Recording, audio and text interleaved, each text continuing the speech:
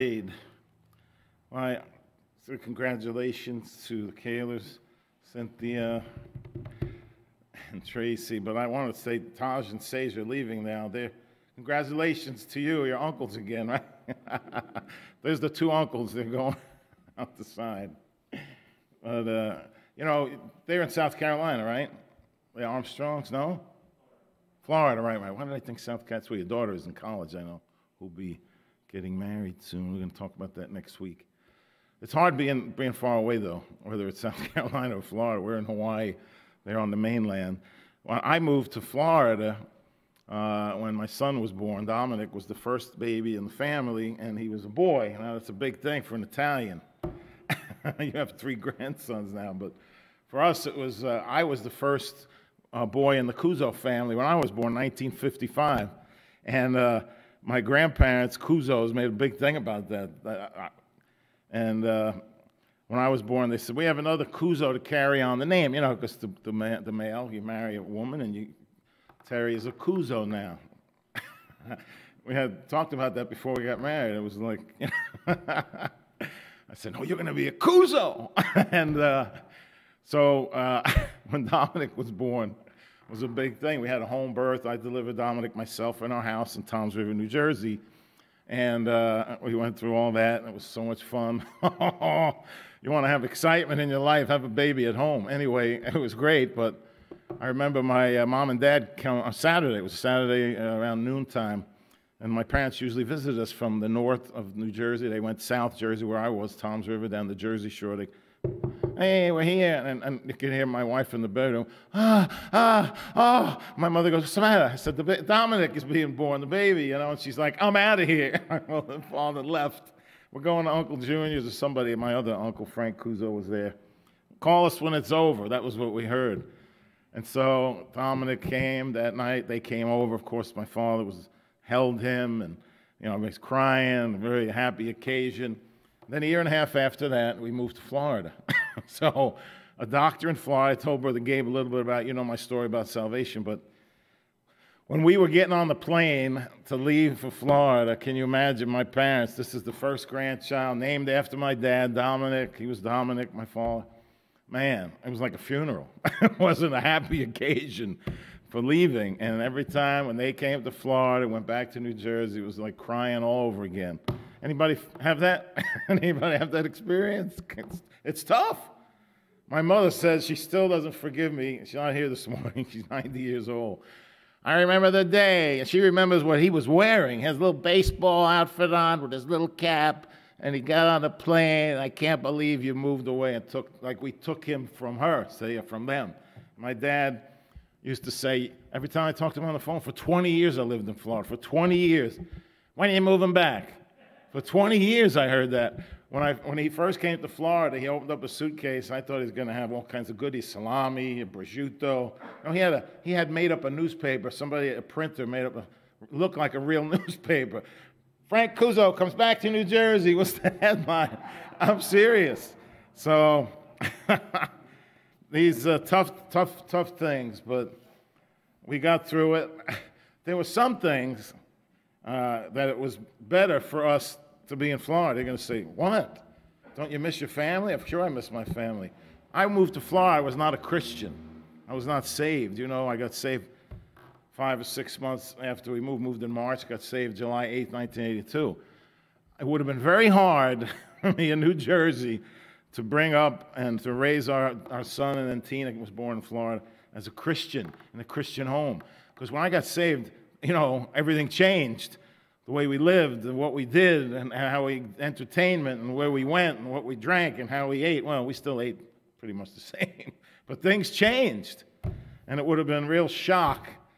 We, we were 20 years in Stuart, Florida, north of Palm Beach County, and we raised our kids in a Christian home. We, we went to a great church, independent fundamental church, almost identical doctrinally to this church. And uh, God was good to us. Was it easy to be away from your family? No. But there were some advantages when it came to uh, raising your children and other things that God used it. So, the question today in Habakkuk chapter 1, verses 1 through 4, we said, well, that was what we read last week. I know we're going to be in this book, not, not as long as we're in Romans, or as long as we're going to be in Psalms, or 150 Psalms. It's a short book. They call it Minor Prophets, but there's nothing minor in this book. It's a message about God and his people. In the Old Testament, we know that. The nation of Israel, God's chosen people, chosen to bring the Messiah into the world. The Christianity, we say in the New Testament, the church, were to make God known to a lost and dying world. God didn't forget about Israel. He'll never forget about Israel. But we didn't replace Israel, right? Israel's going to be used of God even in the last days. And Christianity came out of Judaism when you look at it. Jesus brought up Mary and Joseph, Jewish, disciples, all Jewish. Its foundations, its base is based on what God made covenant relationships with Israel and promises and prophecies that were fulfilled in Christ.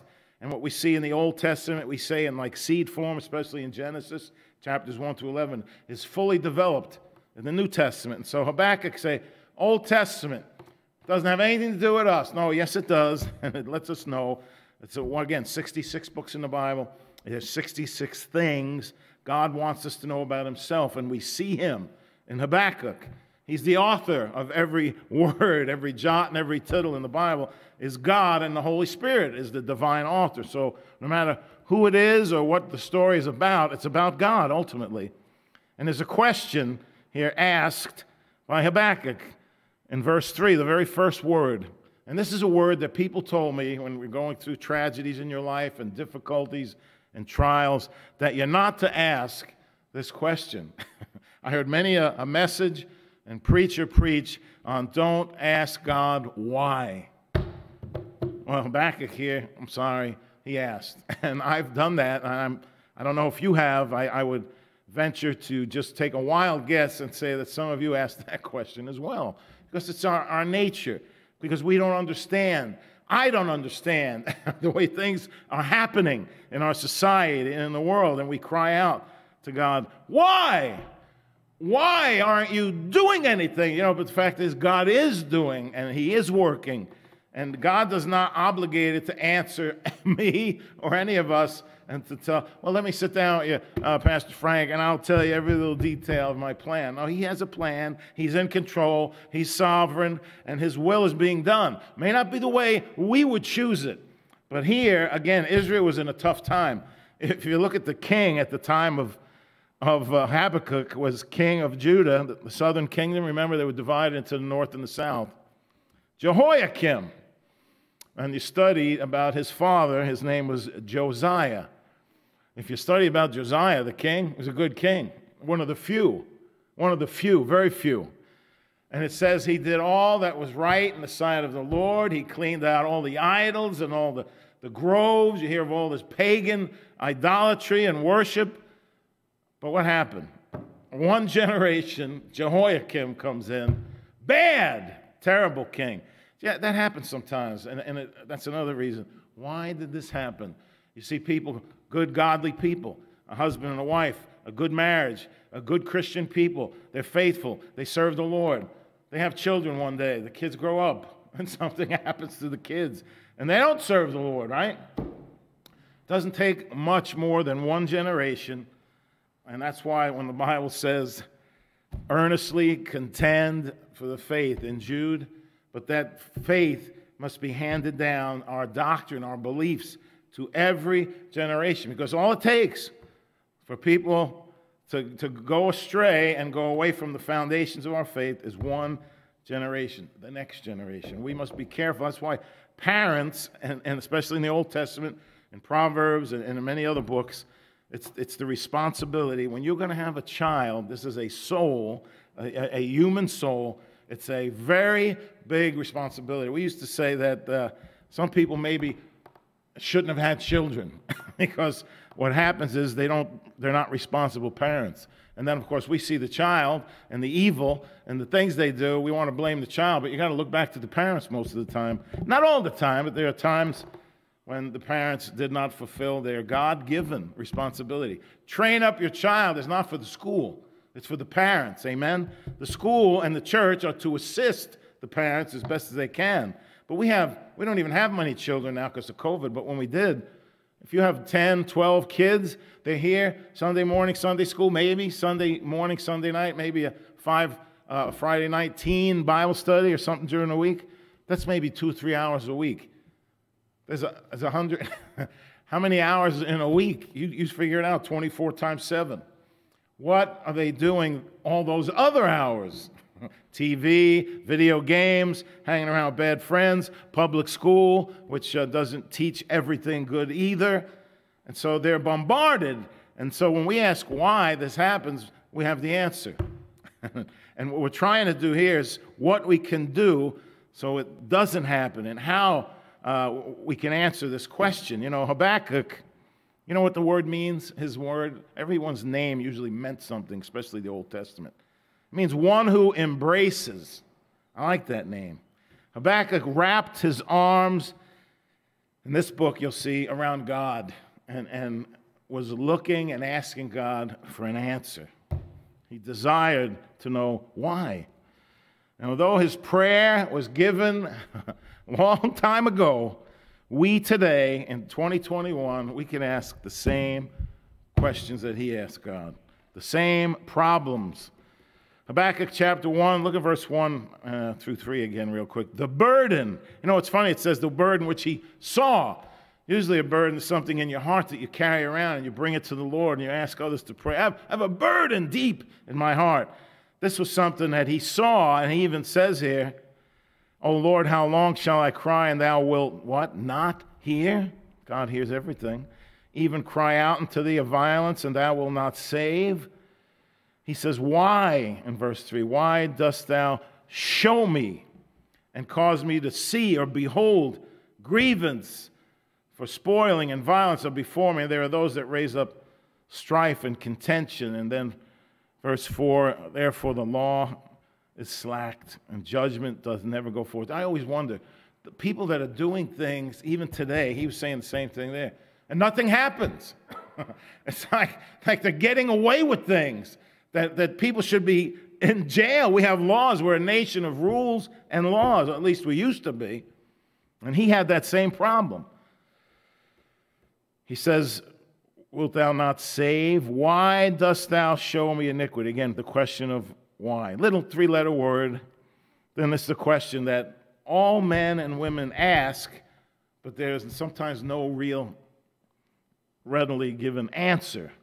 He was a very troubled man living in a dark hour in history. You say, well, 2021. He cried out to God and asking why the Lord would not hear and why would he allow this to happen. Have you ever said that? I'm saying that a lot lately. Why have, again, God allowed this to happen? Remember that this time that this was written, Habakkuk, the nation of Israel was right on the eve, was about to be taken over, captive. And even when Josiah, you know, King Jehoiakim's father served and was a good king, God told him because he was a good king, he would, he would spare through his time as a king that this would happen, but there was a coming judgment even under a good king because the why? The people had strayed from God. And he tried to do all he could, King Josiah, Jehoiakim's father. Then Jehoiakim came in. Forget it. Everything that his father did changed. Sounds familiar. And so the nation of Israel, on the eve of being taken over, we were watching a movie last night about World War II when the Nazis came into Poland and what they did in the ghetto there, the Warsaw ghetto with the, with the Jews and how they were treated, and true story that we saw in the movie. But here, Israel, on the eve of being taken captive by the wicked king Nebuchadnezzar, king of Babylon, maybe one of the mightiest nations at that time, of course, in the world then. And he's a famous king, not only in the Bible, but in world history. These things definitely, truly happened. They had Babylon, you know, Babylonian uh, King Nebuchadnezzar. The city was the perimeter, if you said you wanted to draw a circle around it, over 60 miles, uh, just in this one city. The walls were as high as a football field is long, 100 yards high. They were wide enough, the walls around Babylon, so that they used to have chariot races around the top of the walls. And inside Babylon, one of the ancient wonders of the world, they called the Hanging Gardens that the king had built for his wife. And, you know, because of his great power and might, Nebuchadnezzar felt, I can do anything I want, and nothing's going to happen to me. And one of his desires was to take the nation of Israel and Judah, specifically at first, captive. And so the king of Judah, now the Israelite king Jehoiakim of the southern kingdom. Remember Jeremiah? Last week we talked about, again, Habakkuk and Jeremiah were contemporaries of one another, lived at the same time, preached at the same time. And he went and gave a message about maybe if you'd repent and turn back to God, just maybe, God would spare us. What did the king do with the message that he had written? Remember Baruch? He had written it down on a scroll and he brought it in there to the princes and they read it and they got a, a, a kind of a little razor blade. You know those penknife razor blades with a little tip? And he says, let's take this part right here and threw it in the fire. Can you imagine that? Uh, uh, Jehoiakim heard the message, took a penknife, cut the word of God into pieces, and threw it in the fire, in essence, saying, I don't care what God says, I want nothing to do with your God and with his word. And of course, we know what happened.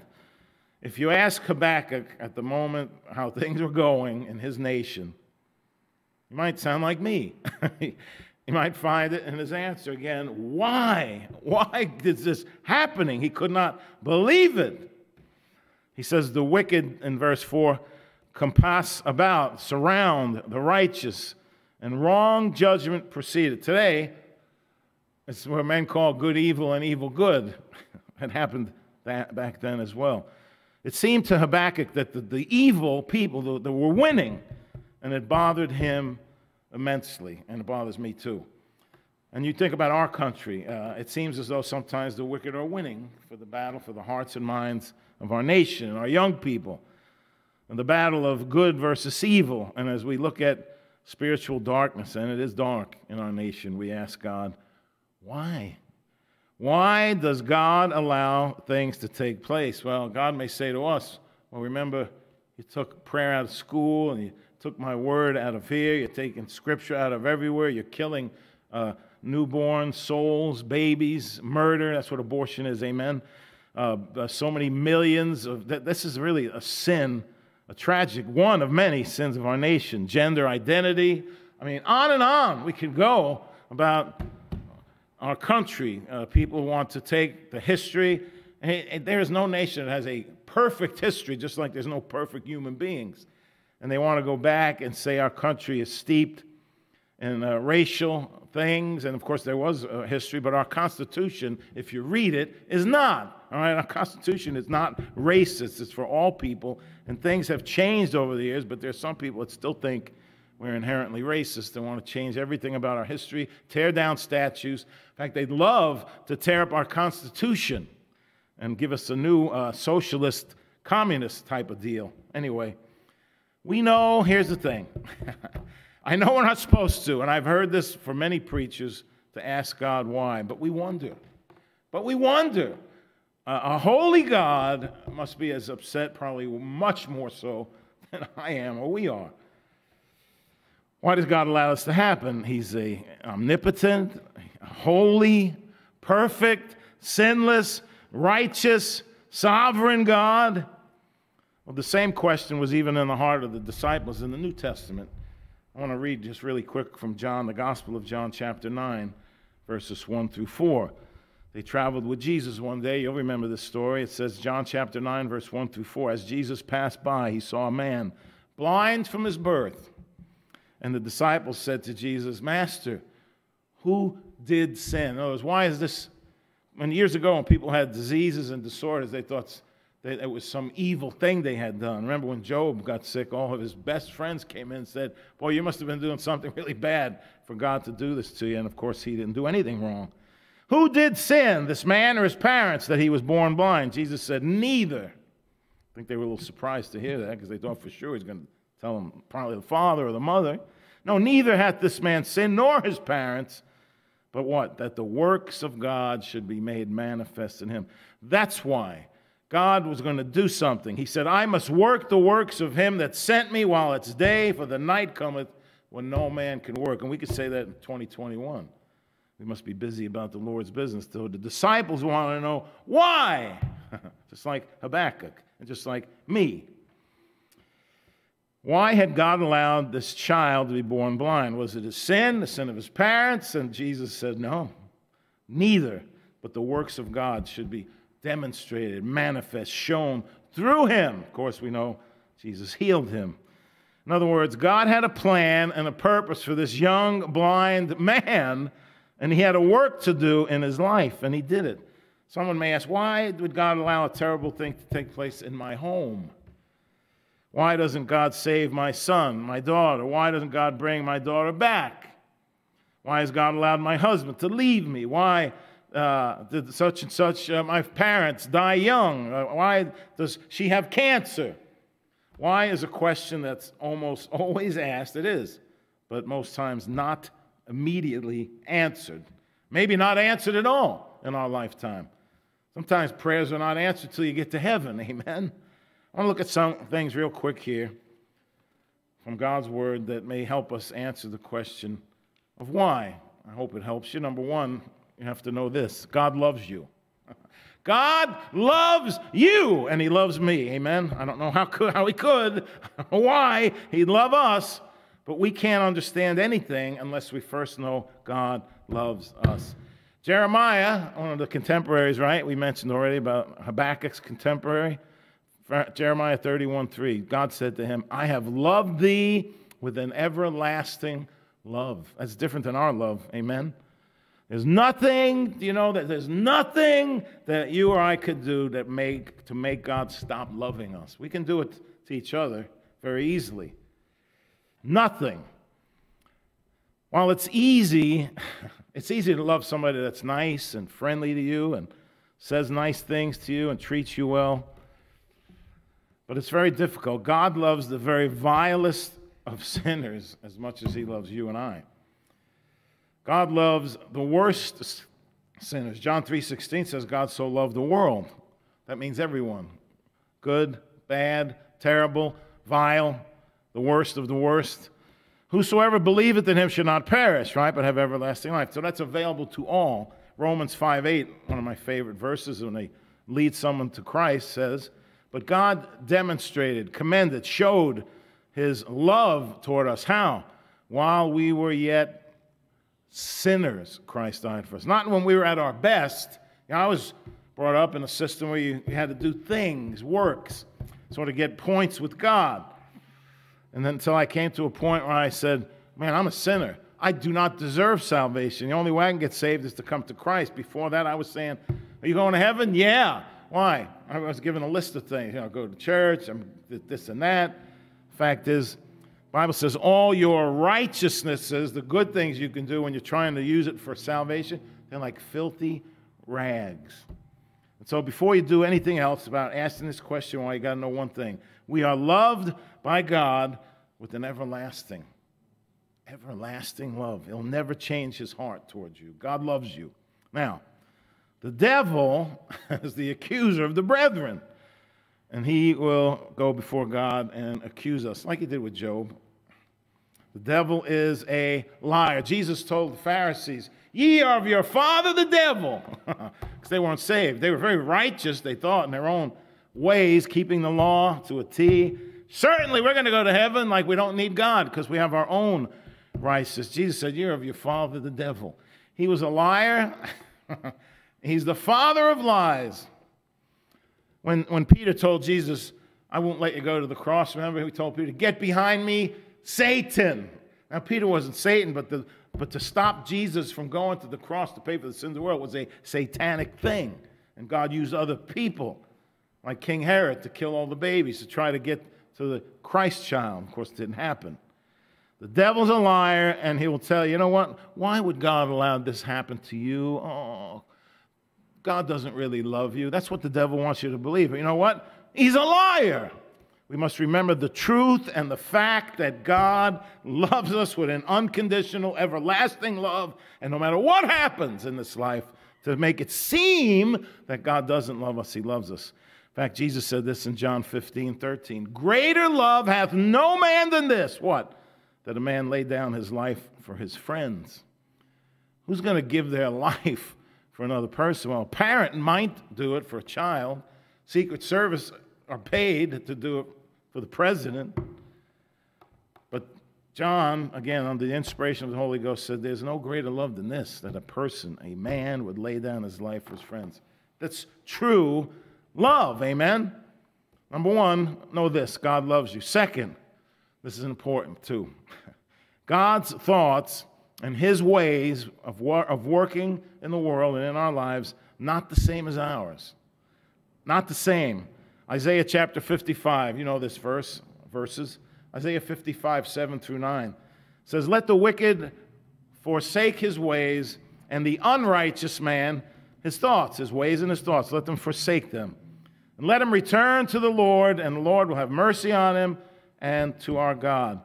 For he will abundantly pardon. Isn't that good that the, the most wicked person can come to Christ, repentant, turn to God, and in faith, trust him and be saved?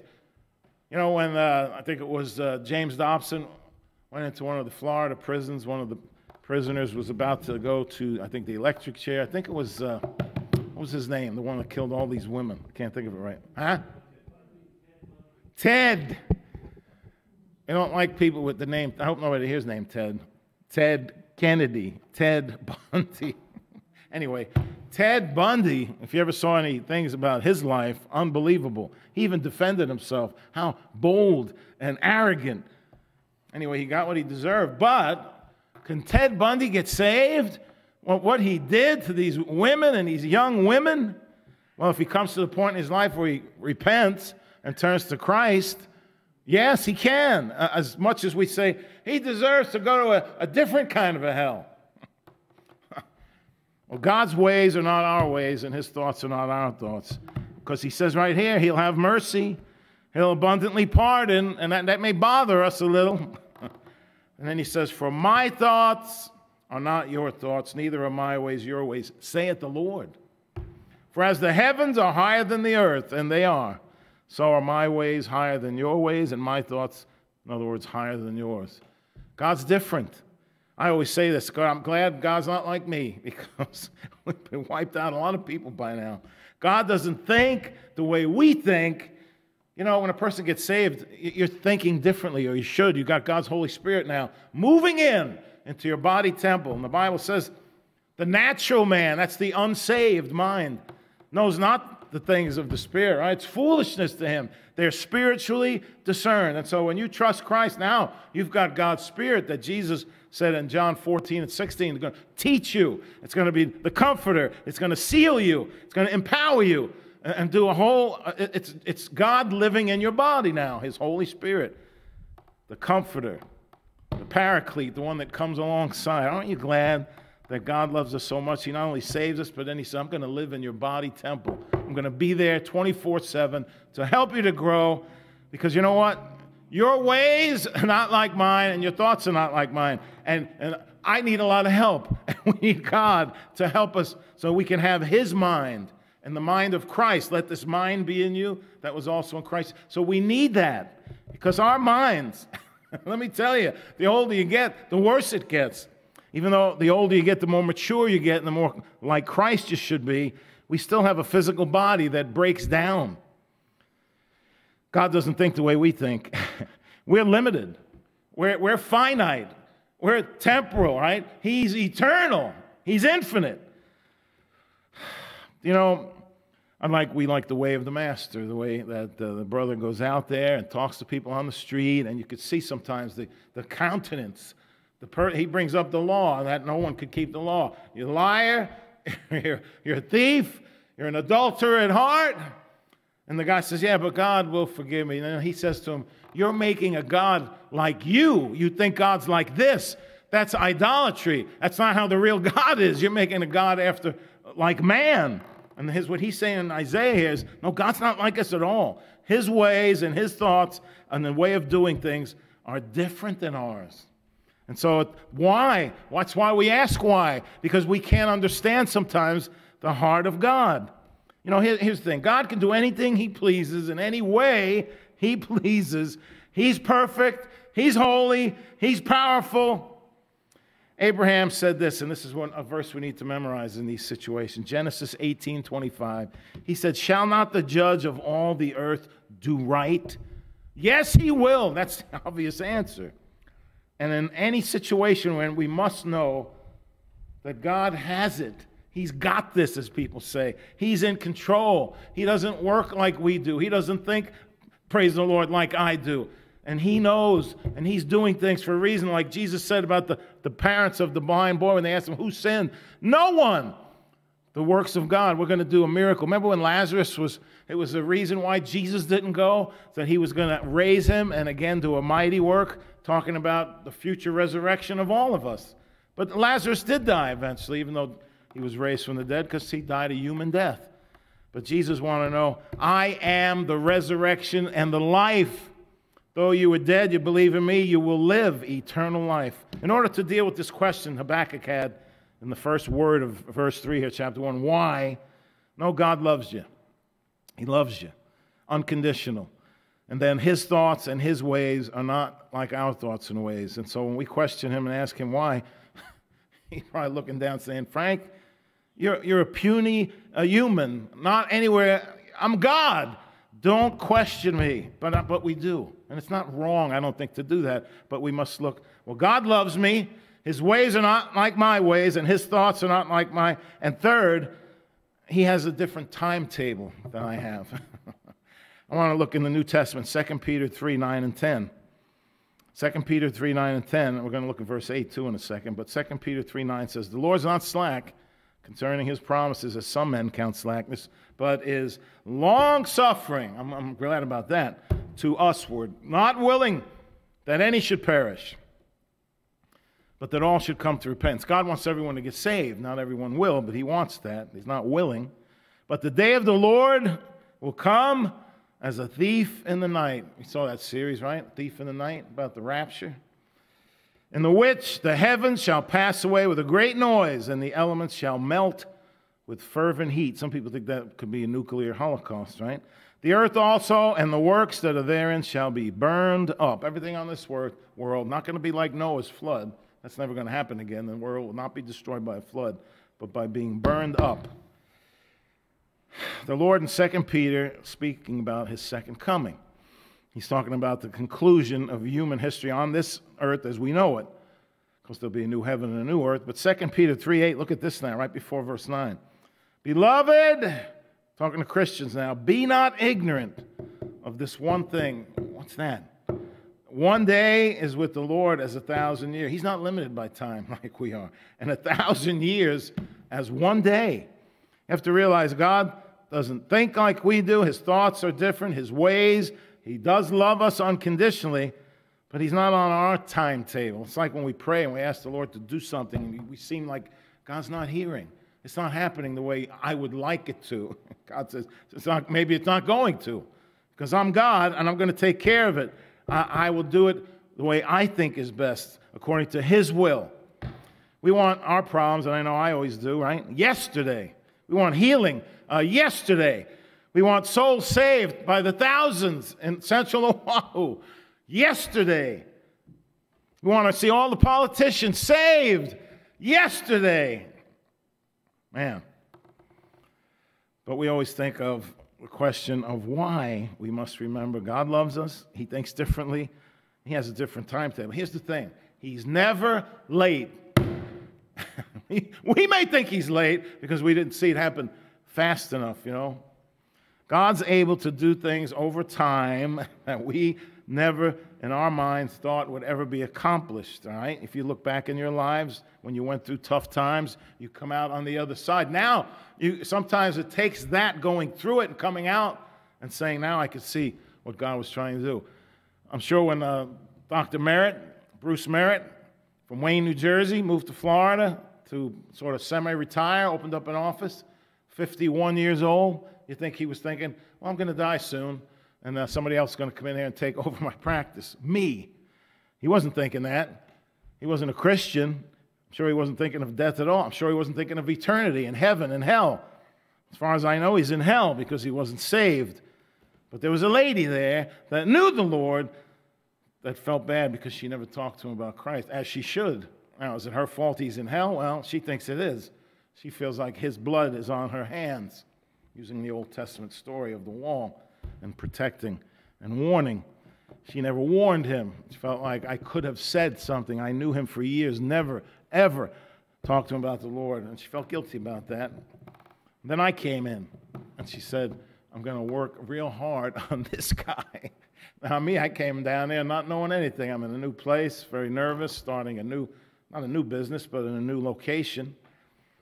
And she prayed. This woman was a godly woman. And every time she came in the office, the Bible was open. Not my Bible, her Bible. I don't even think I owned the Bible. Shame, right? And she would say, You're a sinner. If you died right now, do you know for sure you'd go to heaven? I said, Yes. you know, she said, Really? How do you know that? Oh, well, I went through the list, you know, good Catholic, bah, bah, bah, She said, the Bible says, A, does it say there? What's that word? All. That means you. She pointed a finger right at me, imagine. I'm so glad that she did that. You know what? Looking back, that she would not let me rest in the fact that every time she came in, read this today and read that verse. And it was all like the Romans Road, pretty much, most of the verses. Till we got to the Bible study, you know the story, I got saved. It took time. She was patient, of course, so I'm glad God was long suffering with me. Amen. Patience. God is not in a rush. His timetable. Do you know that the nation of Israel suffered many things? Uh, their, their captivity, and of course, uh, Nazi Germany, the Jews have always, God's people, whether Jew or Gentile, born again, always going to be attacked by the world. That, that's just a fact of life. Patience. Psalm 27 14 says, Wait on the Lord, be of good courage and he shall strengthen thine heart. Wait, I say, on the Lord. I'm not that kind of a person, unfortunately. God has taught me through tribulation to be more patient. Am I going to say I'm very patient now? I'm, I'm, i wish I could say that, but I'm getting there, I hope. Romans 5, 1 through 5. Listen to this in Romans, which is the book we just finished. Therefore, being justified by not works, right, but faith, we have peace with God through our Lord Jesus Christ by whom also we have access by faith into this grace wherein we stand, and rejoice in the hope of the glory of God. And not only so, he says, not just in salvation and the hope, he says, but we also glory in tribulation. James says he rejoices in the trials of life. Romans, Paul wrote this letter to Rome, the Christians in Rome. We glory in tribulation also, he says, knowing that tribulation works patience. We need to have patience. We, we, we can't rush things and come to God as we say, Why? I can't believe this is happening. Why are you not working? God says, I am working. You just don't see it. and I don't have to answer you. He's not obligated. Tribulation. Somebody told me once, don't pray for patience. I said, I'm not very patient. Don't pray for patience. Well, whether you pray or not, God knows my heart tribulation that he brings to us, not because he hates us, because he wants us to be like him. He wants us to be patient. Habakkuk, Habakkuk asked God here in verse 3, chapter 1, why? He was crying out for answers. He, he saw his nation. It bothered him. Do you know, you're American. It should bother you what's happening. You know, we always say, I can't watch the news. I got to turn it on. I'm getting sick of it. It's okay to be bothered by it, but what are we going to do about it? We go to the Lord. We cry out like He did. We know God loves us. He's not like us, His ways and His thoughts, all right? He's not on our timetable. And we just must say, God, we're trusting you to do whatever it takes. To do what? God wants people to be saved. He's long suffering. That's the ultimate thing. God, use this. Use this COVID. Use this, whatever's happening in our country and our government uh, to, to lead, be able to lead people to Christ, even if it means being in whatever, captivity. I can't believe I even said that word. The prophet cried out to God because of the condition of his nation. You know what? He knew judgment was coming, and judgment did come. Judgment came. Judgment may be coming to America.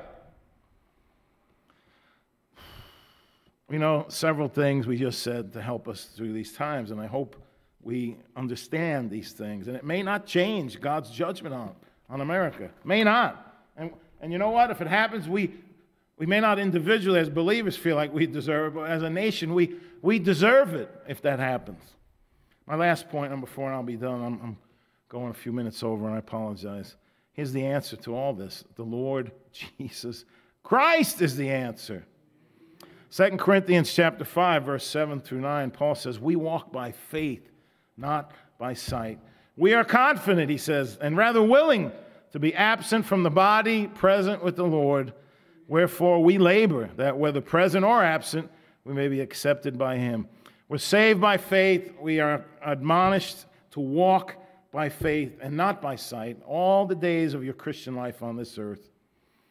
If we must have an answer to every question in life, here's what we're saying to the Lord I want to live by sight now. I can't walk by faith unless, God, you let me know why. I have to see it.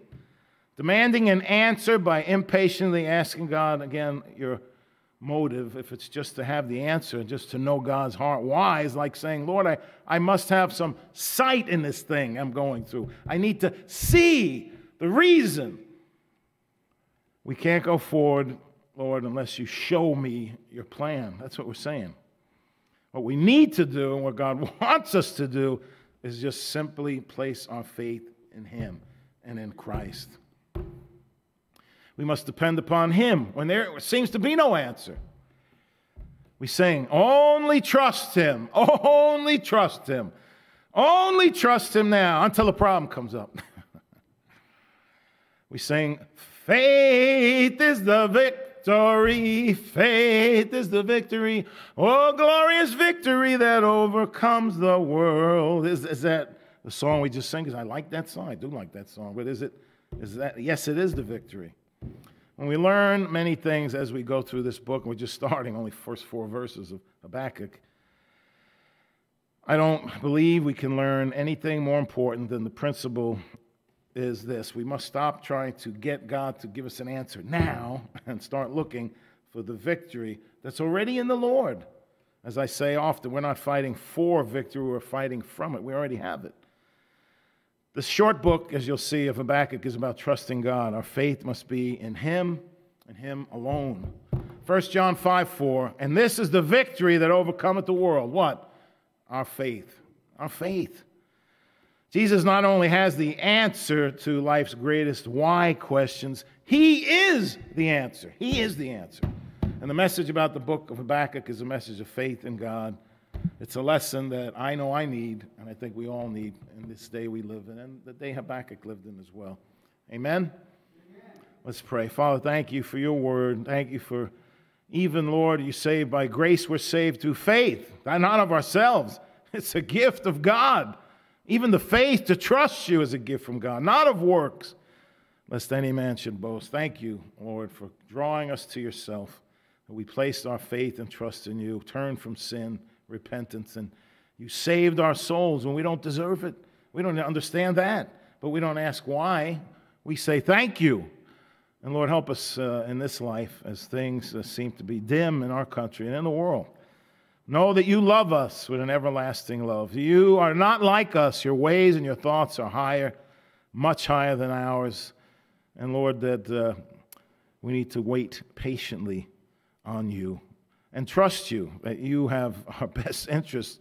Lord, you said in Romans 8 28, all things work together for good for those who love you and are the called according to your purpose. Lord, help us to see your way through uh, dark days that we go through, and days may get darker. And Lord, help us to trust you even through those, even through the very point of death. You said, the though I walk through the valley of the shadow of death, I, I will fear no evil. Why? Because thou art with me. Lord, thank you for your presence in all of our lives. Help us to trust you more. Help us to glorify you, all that we say and do. In Jesus' name we pray. Amen.